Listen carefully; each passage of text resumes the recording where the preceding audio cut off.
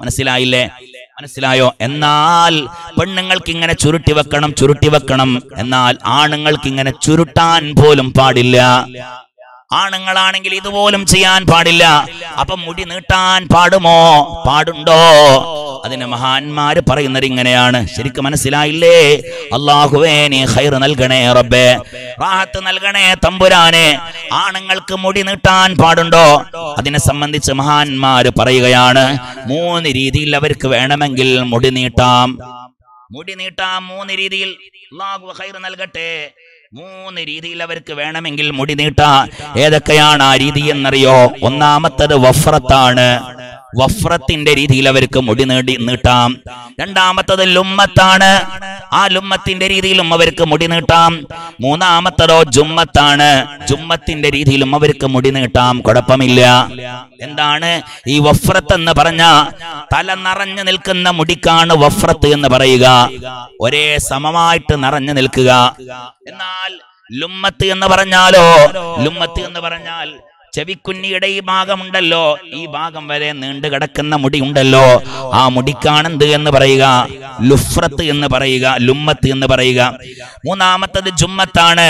ജുമ്മത്ത് എന്ന് പറഞ്ഞാൽ ഈ കാണുന്ന ചെവിക്കുഞ്ഞി ഉണ്ടല്ലോ. ഈ ചെവിക്കുഞ്ഞിയുടെ കുറച്ചും കൂടെ തായോട്ടിറങ്ങിയ മുടിയാണ്. തോളിലേക്ക് ഇറങ്ങിയ പെണ്ണുങ്ങളുടെ മുടി പോലെയുള്ള മുടിയല്ല.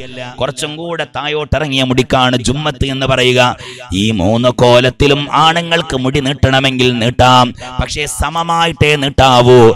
നേരെ മറിച്ച് അപ്പാച്ചിയാക്കാൻ പാടില്ല. അപ്പാച്ചി എന്ന് പറഞ്ഞാൽ മുടികൾ രണ്ട് സൈഡിൽ ക്രോപ്പ് രണ്ട് സൈഡിൽ വടിച്ചെടുക്കുന്ന ആളുകൾ ഉണ്ടല്ലോ അത് ഹറാമാണ് ഹറാമാണ് ഹറാമാണ്. അങ്ങനെ മുടി നീട്ടുന്ന ഒരു സ്വഭാവം എന്റെ സഹോദരന്മാരെ എന്റെ നൂറേജ്മീറില്ല കുടുംബാംഗങ്ങളെ അങ്ങനെ നമ്മുടെ ജീവിതത്തിൽ ഉണ്ടാവാൻ പാടില്ല.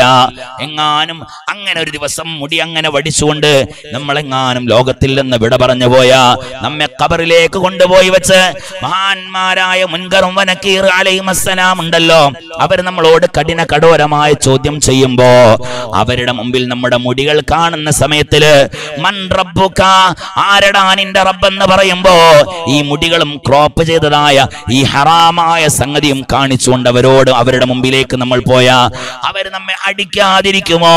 അവർ നമ്മെ ശിക്ഷിക്കാതിരിക്കുമോ എന്റെ ഉമ്മമാരെ ഉപ്പമാരെ നമ്മുടെ മക്കളെ നല്ലതുപോലെ പറഞ്ഞ് മനസ്സിലാക്കി കൊടുക്കണേ. അവരെ നിങ്ങൾ ചീത്ത പറയരുതേ. അവരെ നിങ്ങൾ ആക്ഷേപിക്കരുതേ.